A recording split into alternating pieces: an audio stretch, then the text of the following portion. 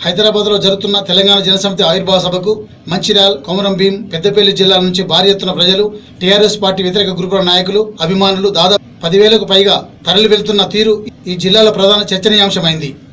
తెలంగాణ రాష్ట్ర ప్రభుత్వం చెబుతున్న పథకాలు మాటలు తప్ప చేతలు లేని ప్రభుత్వం అని పేదలకు ఎలాంటి పథకాలు అందడం లేదని మొత్తుకున్నా వినని టీఆర్ఎస్ ప్రభుత్వంకు ప్రజాప్రతినిధులకు సరైన గుణపాఠం చెప్పడానికే తామంతా మన ప్రియతమ ప్రొఫెసర్ కోదండరాం సమక్షంలో తెలంగాణ జనసమితి పార్టీలో చేరి రాష్ట్రంలో రెండు వేల పంతొమ్మిదిలో ముఖ్యమంత్రిగా కోదండరాంను చూడదామని ఈ జిల్లాల నాయకులు బాహాటంగా మాట్లాడుతున్నారు.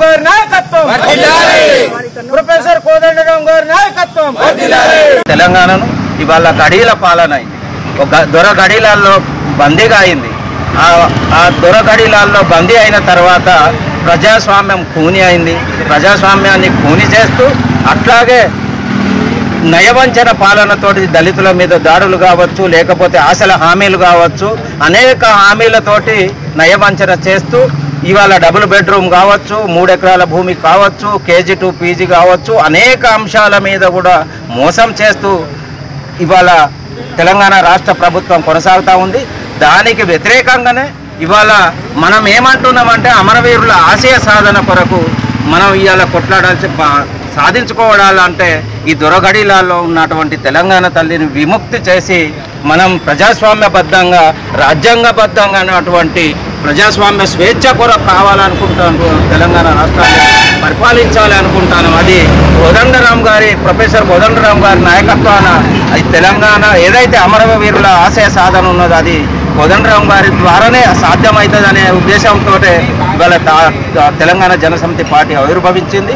దాని ద్వారా తప్పకుండా అమరవీరుల ఆశయ సాధన కొరకు పోరాడతాం. అది రెండు వేల పంతొమ్మిదిలో తప్పకుండా కోదండరాం గారు ముఖ్యమంత్రిగా అవుతారు అది చేయాలని ప్రజలు అదేవిధంగా అనేక మంది యువత కూడా కోదండరాం గారి వైపు చూస్తూ ఉంది. కాబట్టి తప్పకుండా విజయం సాధిస్తామని ఈ సందర్భంగా బెల్లంపల్లి కాన్ఫరెన్స్ నుండి వేలాదిగా ఈ ఆవిర్భావ సభకు తరలి వెళ్ళడం జరుగుతూ ఉన్నది.